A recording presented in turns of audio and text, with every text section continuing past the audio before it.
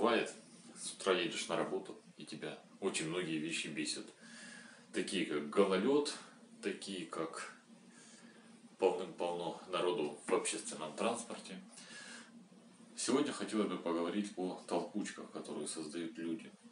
Ведь зачастую мы сами виноваты в том, что скапливается очень много народу, о том, что мы не можем договориться, о том, что мы начинаем толкаться и пихаться в общественном транспорте. И в связи с этим хотелось бы сказать, ну, люди, имейте совесть. Ведь всегда можно договориться, можно как-то нормально, не протискиваясь, не толкая всех в спины, лезть. Вот. Ведь многим можно подождать следующего транспорта и уехать. Не обязательно же отдавливать ноги. Подумайте о том, что кому-то вы можете сделать слишком плохо, слишком больно. Кому-то это будет неприятно. Вот. Кому-то будет неприятно то, что вы там стоите на ноге, что вы своим рюкзаком кого-то давите, что вы нависли над, над кем-то.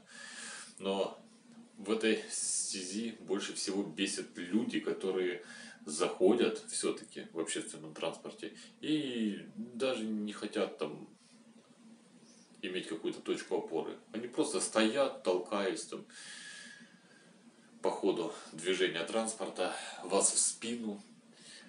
Вот он как бы может дотянуться до поручня, но не хочет этого делать. Ему легче двумя руками держать телефон и играться в нем при этом его болтает, я не знаю, как огурец на пустой банке.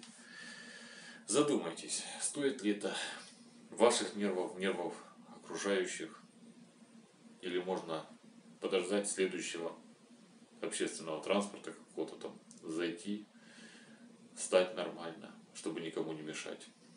Всем, кому было полезно, подписывайтесь на канал, ставьте лайки. Пока. Оставляйте комментарии.